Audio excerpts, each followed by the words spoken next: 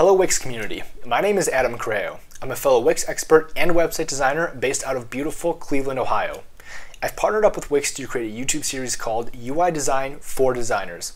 The series will include bite-sized videos teaching you tips and tricks about creating a strong user interface that you can use on your website and on client websites as well.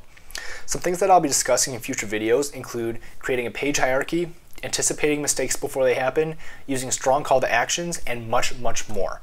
Now, when you utilize a strong user interface on your website, you create a more visually appealing website, a more structured website, and you just create a better overall experience for your website visitors.